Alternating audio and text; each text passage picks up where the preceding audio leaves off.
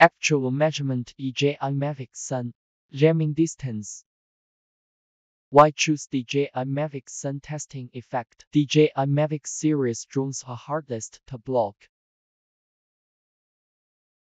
The measured straight line distance between the drone and rifle drone jammer is DJI Mavic 3 start flying.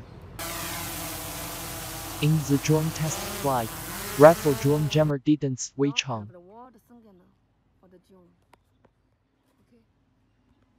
As you can see from the video, the test environment is urban. It works better in an open space with no obstacles. It's detecting the drone.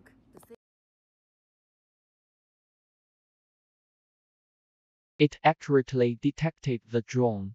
And it had The a DJI display DJI Mavic series. Detection drone jammer alarm. is hitting the target.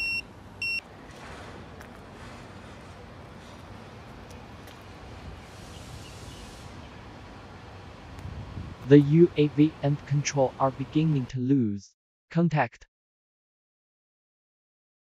Drone jammer off, drone signal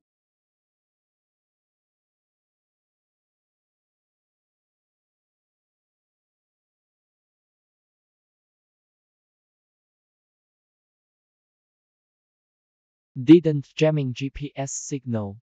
If doing so would cause the drone to crash land.